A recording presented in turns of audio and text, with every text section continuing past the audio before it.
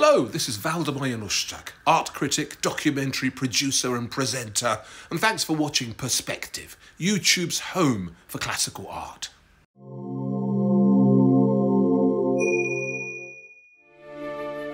The slow passage of time on objects exposes these to all kinds of aggression. External agents and human activity act on them, damaging them, wearing them out, rusting them, rotting them. Water, fire, insects and microorganisms are together with man their fiercest enemies. What makes man different from the other forces is that they are the only ones who can stop or hold back the process which without their intervention would be irreversible. Scientific interest in art conservation has developed over the last century based on science and technology. The main criterion is that nothing that is external or foreign to the piece should be added. In those cases where it is essential to transgress this general principle, two requirements should be rigorously met. Whatever has been added should be clearly appreciated, and it should also be possible to remove it without this jeopardizing the integrity of the whole. Moreover, in many cases, it is necessary for the piece of work to recover its function and arrangement. These requirements are the result of the experience accumulated by curators who have learnt that a piece of work is never definitively restored. Technical advances occur very quickly, and respect for what could be done in the future makes restorers work cautiously so that their current intervention does not obstruct future restorations.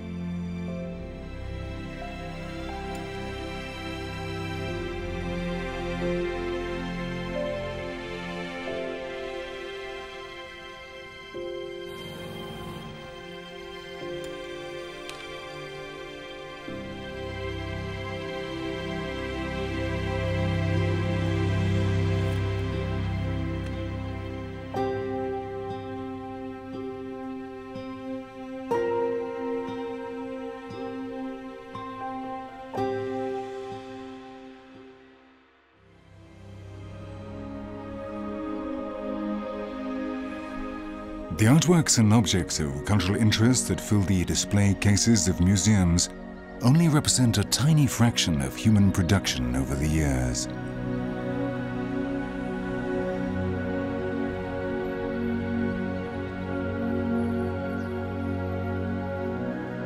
They are not even representative of the total quantity of artworks that have been preserved up until our time.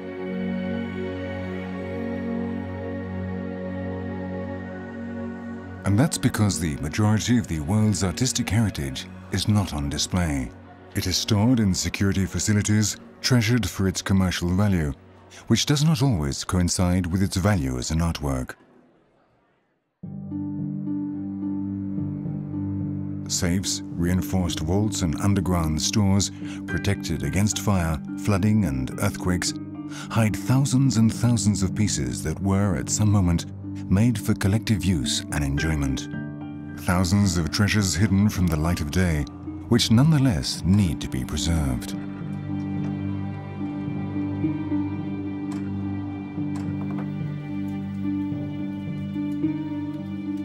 The scientific point of view has been so important in the development of criteria for artistic restoration that the need became clear to create specialized centers provided with the latest technologies to carry out this huge task. One of these centers is the Spanish Cultural Heritage Institute. Its radial architecture clearly expresses the convergence of the different branches of art and science that is its aim.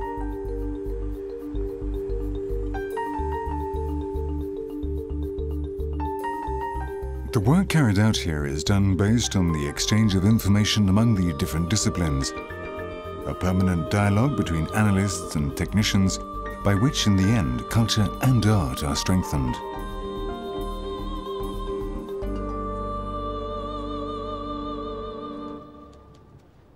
The teams of experts that work here are up to date with the most modern lines of research into techniques and science applied to the conservation of heritage. In the laboratories, analysis work is done that facilitates the work of curators and restorers at the center. Here, analysis is done on pigments, varnishes, glues, mortars, paper, wood, parchment, inks, metal, and other materials that man has learned to use to express his dreams. The electron microscope, dedicated exclusively to the field of art conservation, is essential for day-to-day -day work. Diving into the microscopic universe, the specialist curator can find out much of great interest when it comes to undertaking intervention. For example, it is possible to penetrate into the interior of the supports used by artists and to determine their nature with a high degree of accuracy. Using a tiny splinter extracted from the back of a painted board, it is possible to establish the kind of wood that the artist used as a support. The restoration process will proceed according to the outcome of this test.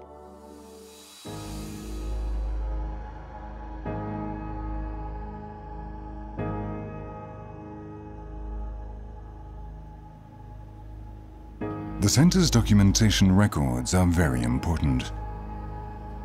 A highly specialized library on artistic and technical matters allows information to be obtained beforehand for each project. A great many specialized books and journals are kept here.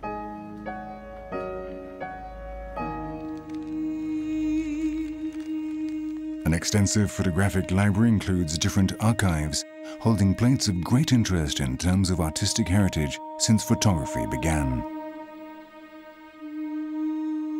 Analyzing these plates, which are sometimes more than a century old, and comparing them with the work's current state, the curator can obtain crucial information when it comes to intervention.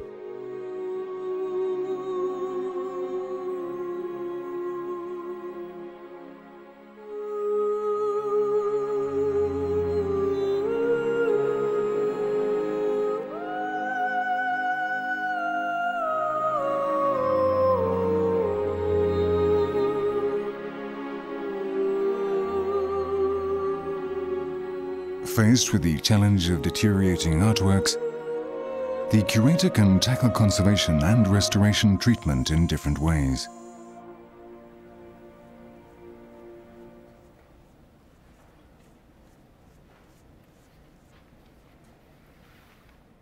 In some cases, and with some works like this Art Nouveau lamp from the beginning of the century, the aesthetic and decorative value is foremost, and so the piece must be treated, cleaned, and conserved to eliminate all the problems that might be present.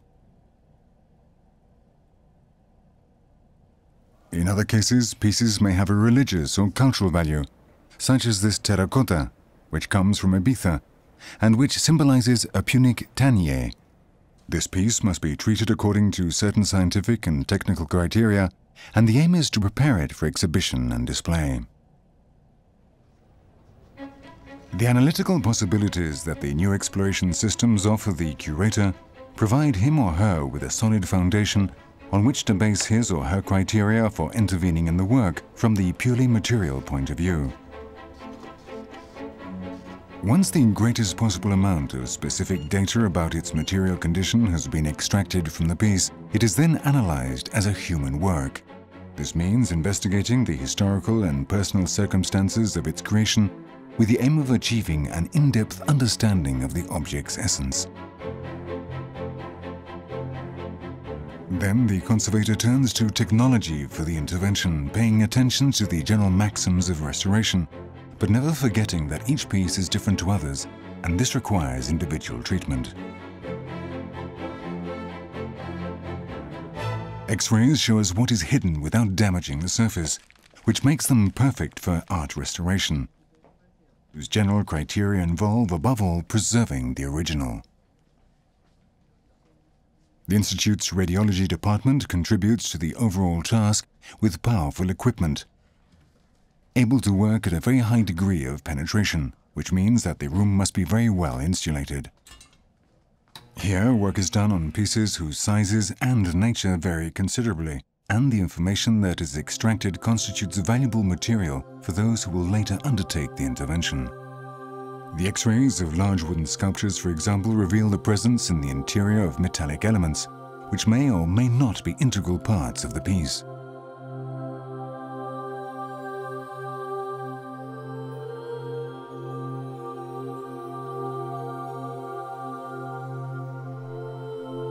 On other occasions, what the X-rays show underneath the visible paint layer are not corrections or changes, but complete works which, due to the extreme poverty of the artists, were reused as supports for new paintings.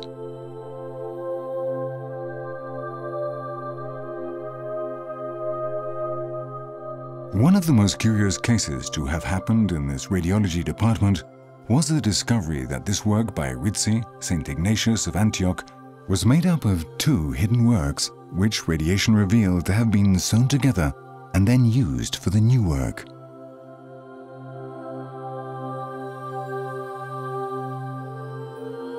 Spectral images that overlap, art that exists and which at the same time does not. X-rays are also used with extraordinary results to examine the contents of very ancient documents written on metallic supports that have become very corroded. This is the case with this bronze plaque, the support for a document that could be essential for further knowledge of the ancient Iberian language. The responsibility of the restorer of this document, with its great informative value, is lessened once the X-ray of the piece has been carried out, even if the later cleaning techniques create confusion or loss of signs in the text, this is nonetheless preserved by the X-ray. Its words will be preserved for history. There is an ever-growing desire to make heritage conservation an obligation to bequeath to posterity those items that history has left to us. That is why the restorer needs to access all kinds of procedures, whether they are mechanical, chemical, or in the case of this piece, steam brushing, or the preparation of poultices or gels able to penetrate the most inaccessible cracks.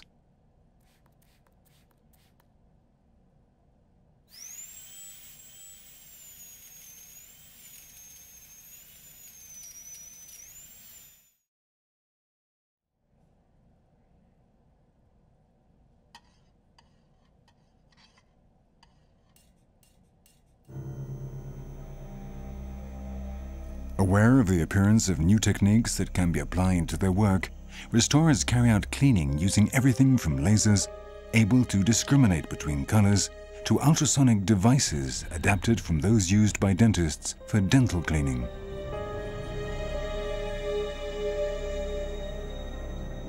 The Institute's Documents and Book Service has developed its own system for the cleaning and recovery of very carbonated lead seals, which consists of occasional electrolysis using platinum electrodes and acidulated water, and this is completed with subsequent washing and the application of a synthetic resin to protect the metal surface.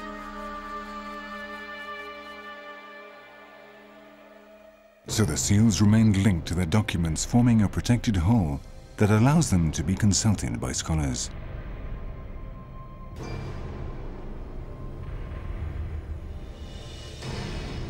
This document has been seriously damaged by the chemical substances that make up the inks, which can have very diverse natures. Sometimes their acidic nature can burn the paper, acting as a support.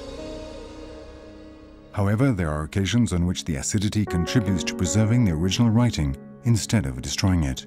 This is the case with the information contained on the 17th century labels that appeared on the back of this set of panel paintings by Francisco Zurbarán. Although a large part of the label has been lost, the ink burnt the paper and reached the surface of the wood, and the marks of the writing were imprinted on it. On the side entrance doors of the sacrarium, he painted two angels in life-size, with censers in their hands, and in the corridor leading to the tidy part of the sacrarium, paintings of some clerics of this order can be seen, in life-size, which are admirably carried out and very natural-looking with realistic expressions and excellent chiaroscuro. This is how an 18th century traveler describes these paintings, which made up part of the ensemble in the Carthusian monastery of Jerez de la Frontera, until they were taken from where they hung and transferred to the Cadiz Museum. There is a mystery behind these works. They were designed as an ordered set, and nobody took the trouble at the time to write down the arrangement. Now, thanks to the labels that have appeared on their backs, it has finally been possible to determine the arrangement and they can be correctly displayed. This fulfills another of the maxims of restoration. What has been conceived as a whole should be restored as such. The artistic importance of the Zurbarán ensemble has meant that restoration has been tackled in a particularly detailed and systematic manner. Contemporary critics wholeheartedly agree with the opinion of the traveller, and they consider these works to be highly representative of the artist's expressive mature period. Zurbarán was 40 when he completed them, and was at a crucial point in his career.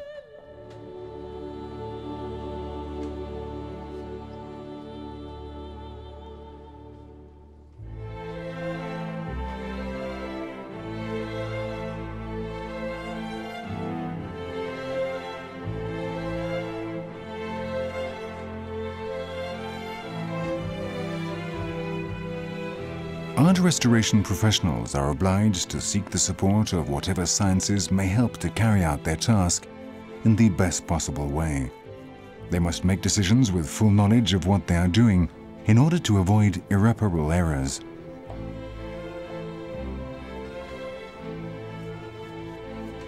This is why they draw up an overall analysis plan whose results will guide intervention. In this case, a paint sample was taken to establish the chemical nature of its components. This is a delicate operation that always damages the work. However, fortunately, the analytical capacity of a modern laboratory that specializes in artworks, like the Institute's chemistry department, does not require large samples.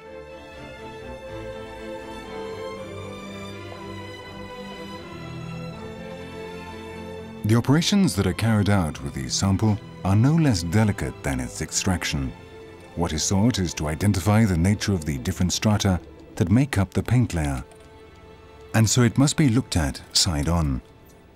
In order to make it possible to handle, the analyst puts it in a block of synthetic resin that will then be reduced to the point where the sample can be accessed.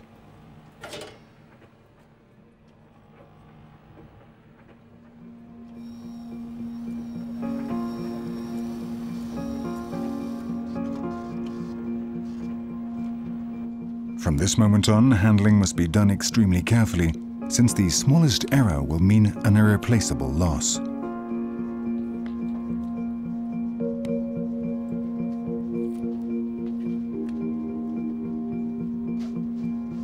For those who know how to look, the stratigraphic cutting of a layer of paint contains precious information about varnishes, pigments, primers and preparations. Magnified enough times, these samples reveal important data about the artist's way of working and preferences, and also about the successive versions that the work experienced over time.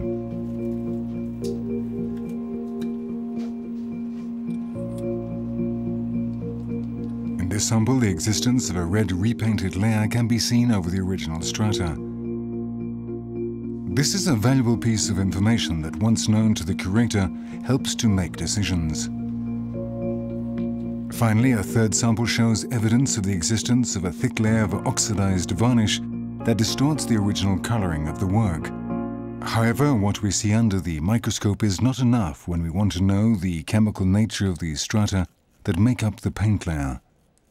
This is crucially important information for those who are to intervene in the work, since incorrect treatment may cause interactions between the different chemical substances present and could badly damage the piece. A computerized analysis device is used for this, and its results establish the nature of these samples' components. And so the products and processes most appropriate for its treatment are defined in such a way that the restorers can carry out their work safely. They now know that the elimination of the layers of oxidized varnish is possible and desirable, and they act on this information.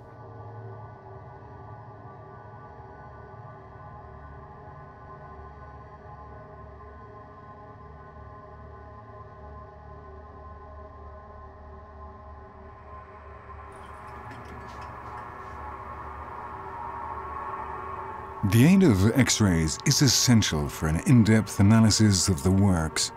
With their help, the Institute's radiology service has fully studied the Zurbaráns from the Jerez monastery.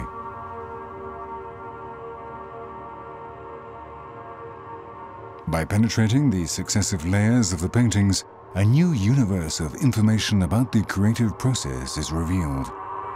The phases of this process are shown and parameters for comparison are set, covering what conclusions can be reached, both as regards the ensemble and each work in particular.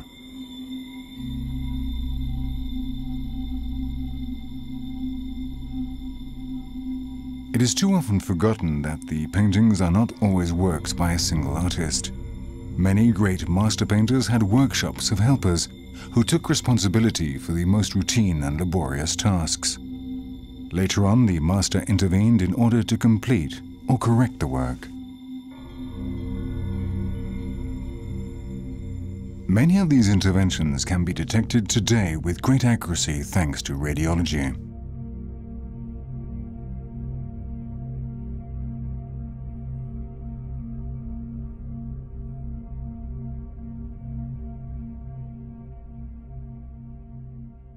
The comparative analysis of these pieces allows the specialists to debate over the degree of intervention by the master Zurbarán in each of these.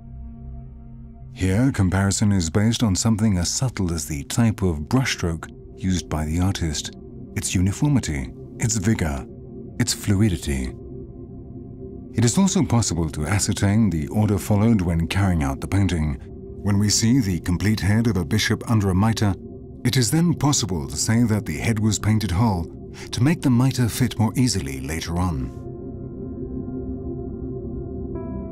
In these details, a specialized analyst finds much informative material that sometimes completely refutes current theories.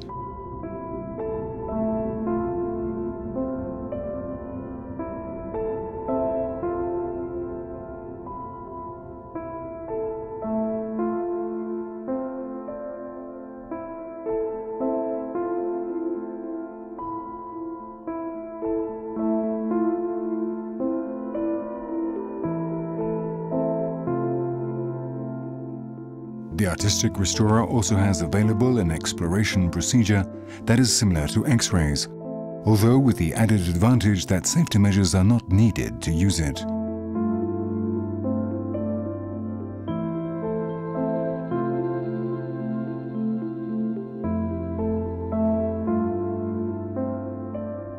Reflectography involves using infrared radiation to penetrate beyond the visible surface of the painting revealing the consecutive stages of creating the painting from the first sketch on the canvas.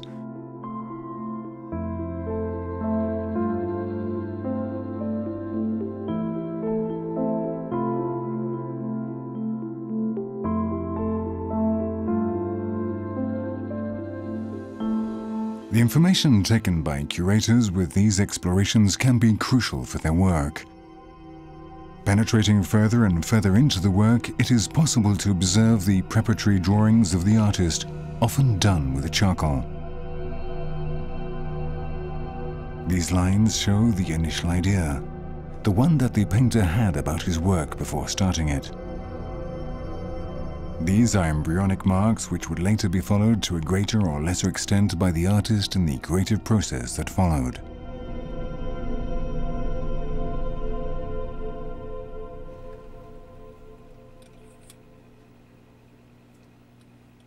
The treatments required by the conservation of contemporary artworks make up a separate chapter in the set of artistic conservation techniques.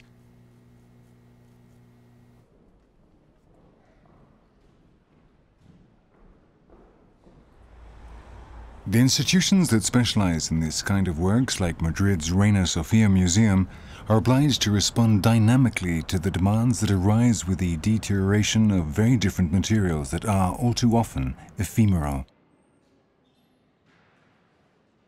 It is clear then that the details of art conservation cannot be built up into a system.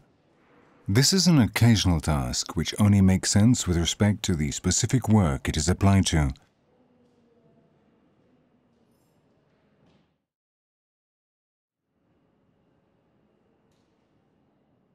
It is neither a science nor a craft, but the result of a chain of considerations, the first of which is to respect the artistic object as the result of the artist's intention.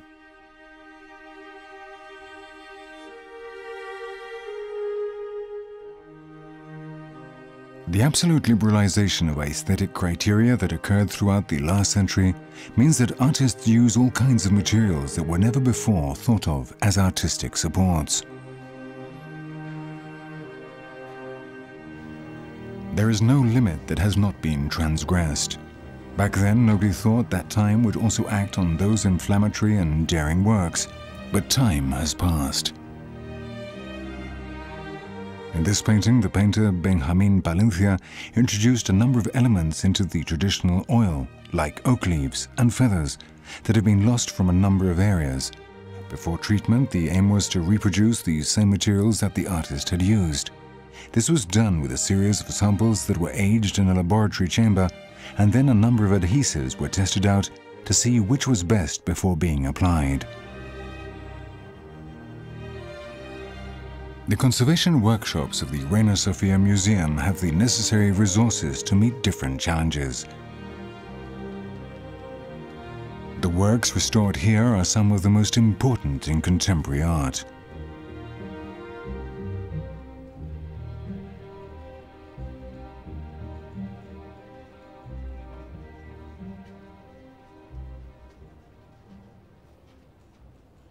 Consequently, its work methods integrate very advanced analytical systems and any technique that may be adapted to its restoration work, such as the settlement of the paint layer by applying heat using infrared rays.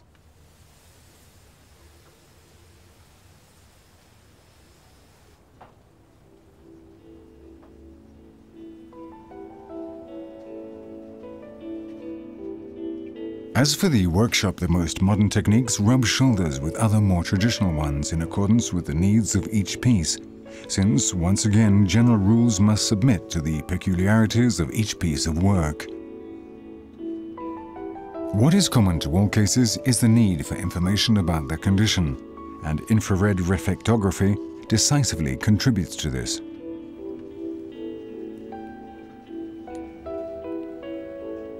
The working methods followed in the study of contemporary art are basically similar to those followed in the study of works from previous periods. However, it is necessary to bear in mind the unique nature of the work that is to be analyzed, and specifically the different materials used.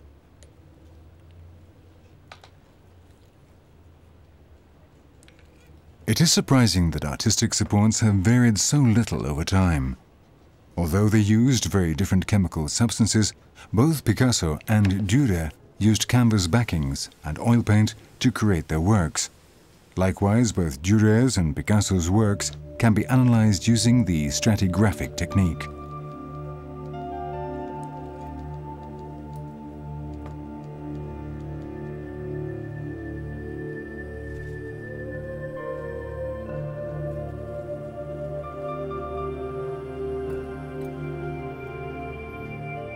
Unlike other centers with more of a hierarchy, the decisions in this department are taken after each of the curators expresses and defends his or her opinion on the matter. These are often decisions on very specific matters.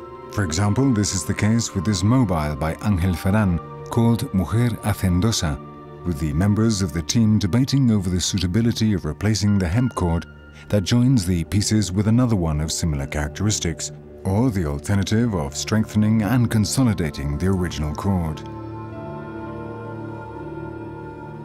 The crux of the matter lies in establishing whether the cord as an object forms an essential part of the piece, or whether, on the other hand, it is only a necessary element because of its function, but its nature is irrelevant for the whole work.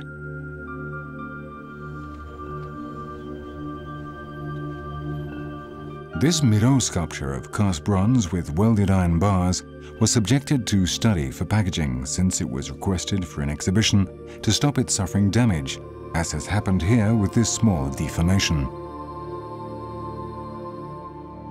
Other times the problems are very similar to those that occur with older works. For example, this polished sculpture by the magnificent sculptor Alberto, we encounter the problem of recovering the original patina, which must have been very similar to the one shown on this other similar sculpture.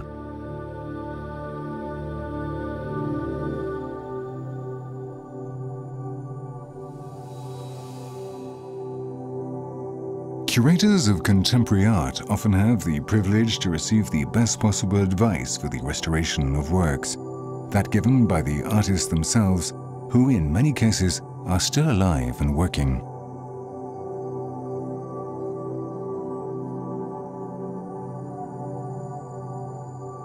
Cases where the painters are no longer alive, the family is requested to provide all the documentation possible, including notes, videos and photographs about the artist's way of working or the brands of paint used. Information that can be very valuable when it comes to restoration.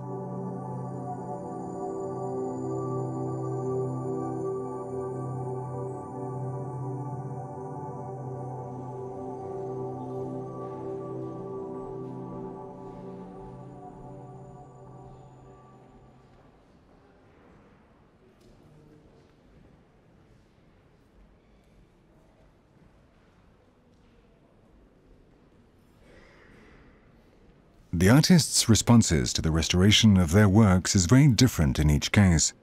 There are those who resist the idea of restoration and those who work closely with the curator, providing information about the materials used and the work system. This information is filed and it will be very useful for future interventions in that artist's works. Many of the works in the Reina Sofia Museum's collection are drawings and paintings on paper.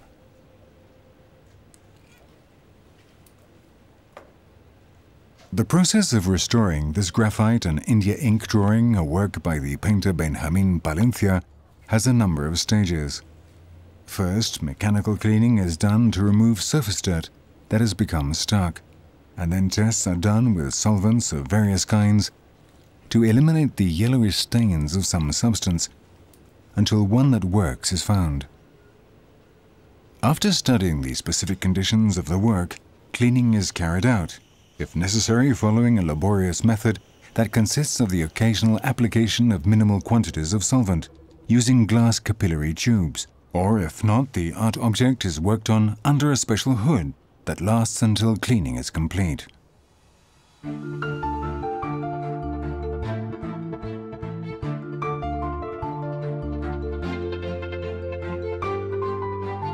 Anthropology is a science whose limits are as vague as people's lives. And anthropological museums are the results of the human urge to collect and analyze the information that humans ourselves produce. Here there are objects that were familiar to our parents, to our grandparents, worn utensils polished by contact with human skin, instruments that let us escape from cold, hunger, loneliness, tools that helped us make life more comfortable, companions on our species' long voyage through time, survivals.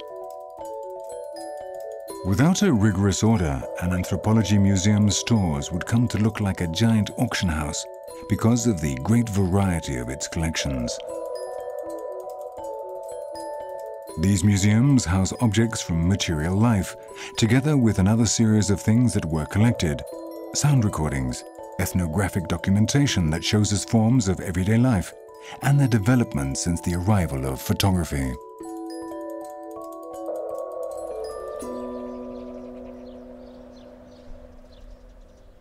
This building was designed in the 60s as a museum of contemporary art. Those were economic boom times for Spain, and the building, which was planned and constructed in those years, was given the best of everything, as the magnitude and the complexity of these technical facilities show. Like the system to keep the building at specific levels of humidity and temperature, a system that was impressive for the period.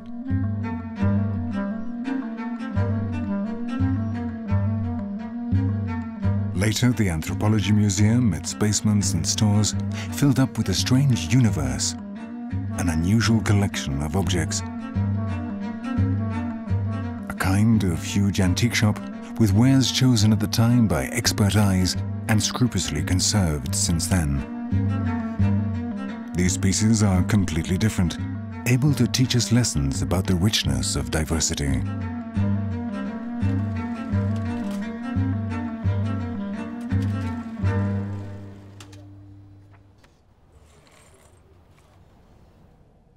For a long time, the museum's cupboards stored collections of clothing and garments from very different social levels, places, and periods. Regional costume, characteristic fabrics, crochet work, lace, silk, linen, whose restoration and conservation had to be attended to by the curator. Work with fabrics is always labor intensive and requires great attention. In the fabric workshops, the curator had to find an answer to all the problems and needs, such as finding the inks that are closest to the color of the works on which intervention is being carried out.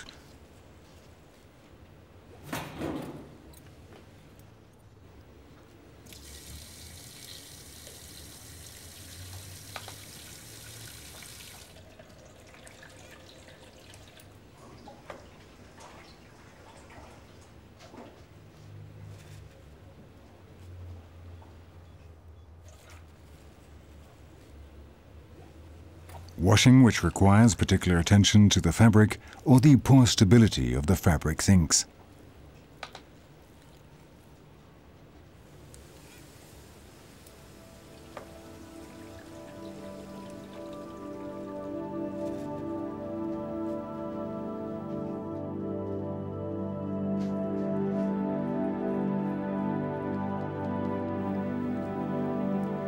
To the examination and correction of the damage that affects large fabrics.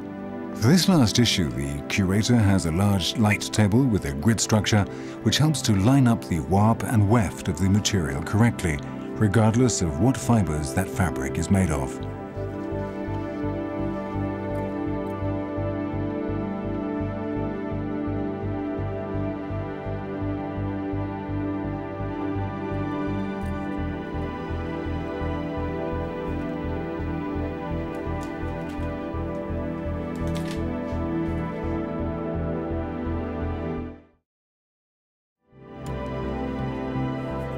Fashions change and this fact concerns not only clothing, but bodies too. Old clothing does not fit on modern mannequins, and so these must be rounded out a little before being used in the workshop.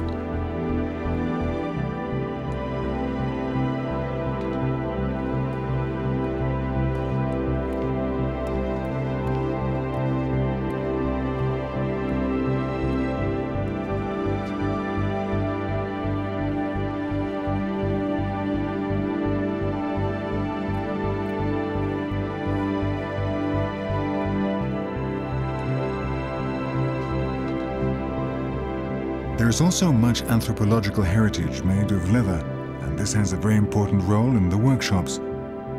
Harnesses of different kinds for different purposes, whose careful examination and analysis provides new data about their history. Sometimes this information complements important aspects for anthropological work.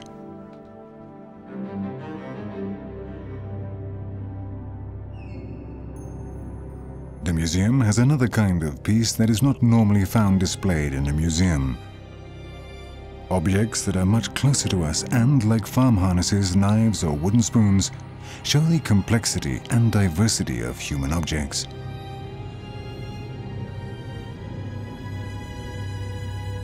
It seems as if time has acted on these objects faster than it should have, or as if it had done so on us.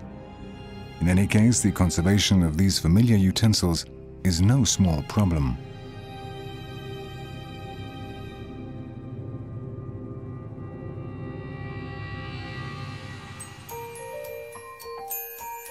Anthropology museums are good places to remember our childhood, or even better, the childhoods of different generations.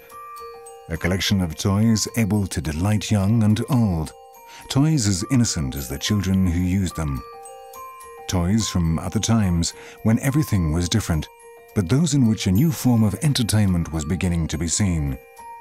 One that was going to change the way of seeing the world.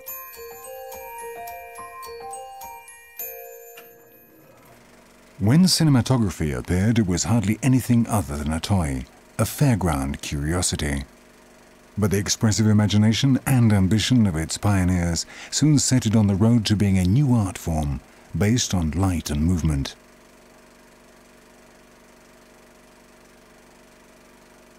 When sound was added to those first trembling images, the new form of expression became the most complete one of all.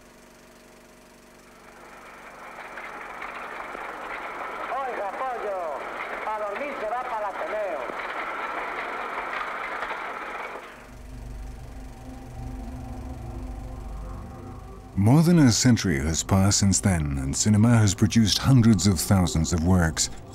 The passage of time on many of these has been merciless, and the world's film institutes like the Spanish National Film Institute have an ocean of celluloid on their hands, whose urgent conservation must be attended to. This is no easy task because in cinema, work is not done on originals but on copies. This is an art based on reproduction, and the material formerly used for the copies, nitrates, has a dangerous tendency to combust. In fact, they are true chemical bombs. The criteria of cinematographic restoration are permanently under debate. Against the general tendency of modern restoration which rejects anything added, some cinematographic curators maintain that cinema is a show, and that interventions should be imitative in order not to distract from the film. It is important to know as much as possible about the work so as to know how to undertake the task, and this requires thorough systematic and patient study beforehand, like the work of an alchemist.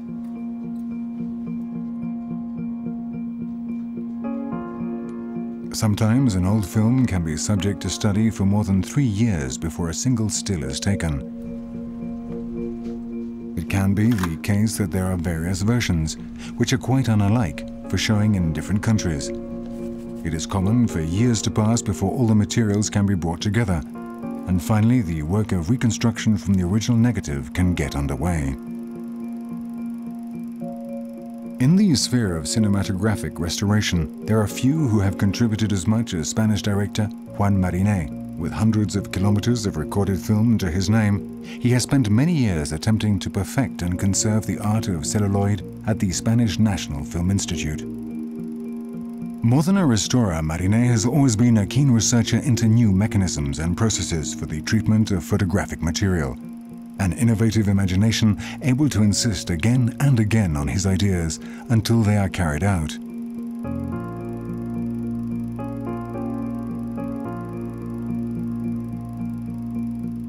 Because when a reproduction of a film is made, it should not be similar to the original, but the same, identical, with no generation loss. As well as its work restoring film, the Spanish Film Institute has the responsibility of conserving cinematographic collections that hold more than 20,000 titles. This requires an enormous effort from the point of view of storage and of cataloguing all the rolls of film.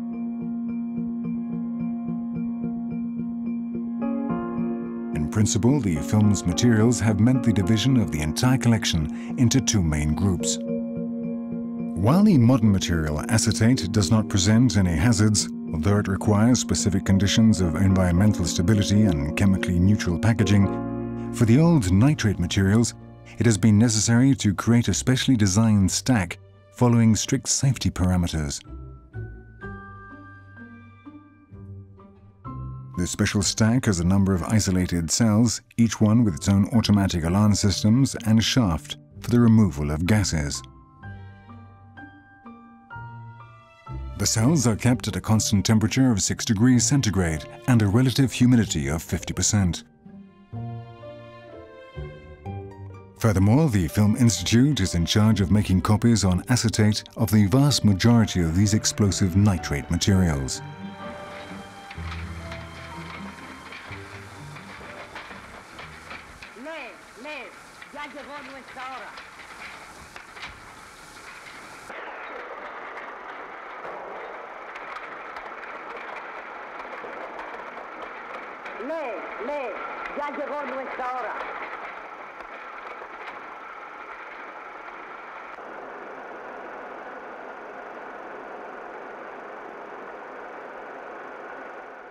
This way, it is possible to preserve the great and not so important works of art of our time for the knowledge and enjoyment of future generations.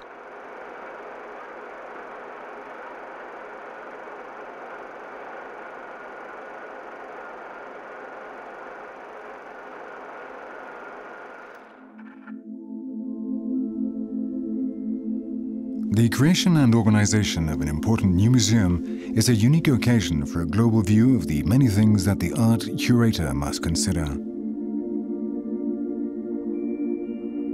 The Thyssen-Bornemisza Museum is one of the great institutions of this kind, a pioneer in its day. Its extraordinary collection includes works from all periods and places, of all styles and all genres.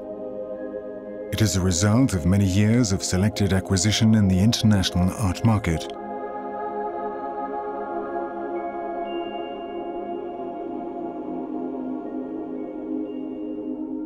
Located on the Paseo del Prado in Madrid opposite the legendary museum of the same name, it occupies the former Villahermosa Palace, built in the 18th century and modified many times since then.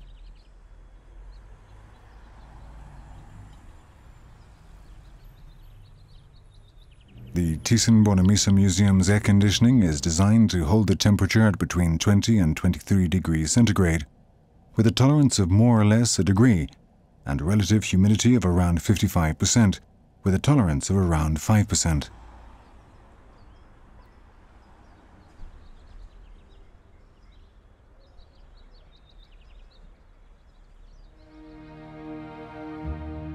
To install the Thyssen-Bornemisza collection in the palace, it was necessary to carry out detailed engineering and architectural studies with the aim of providing the old palace with the infrastructure it would need to display and conserve the works with the maximum guarantees of stability. The difference between the concepts of restoration and conservation is made clear here. Restoration is necessary for objects whose material existence is endangered due to the action of external agents over time. Conservation, on the other hand, focuses on achieving the best conditions possible for the artwork in such a way as the passage of time will never endanger the piece's integrity. Restoration means intervention, while conservation can be understood as constant vigilance.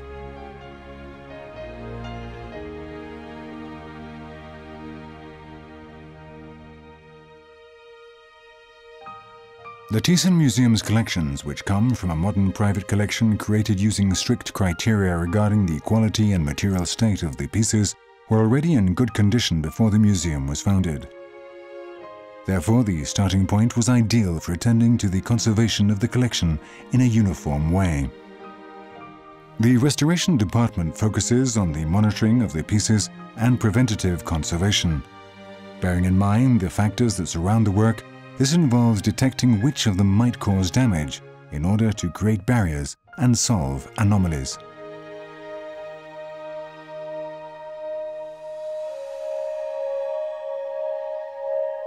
Due to the quality and variety of its collection, the museum receives many requests for displaying some of its pieces at large international exhibitions of the most varied kinds. In these cases, the conditions demanded by the center in terms of the transport and security of its pieces are necessarily very strict. Special reinforced, watertight and fireproof packaging is made for each object, and the atmosphere within it is the same as the one in which the work is normally displayed. This packaging includes a number of sensors that allow the conditions inside to be known at all times, so that a situation endangering the work will be detected as soon as it arises.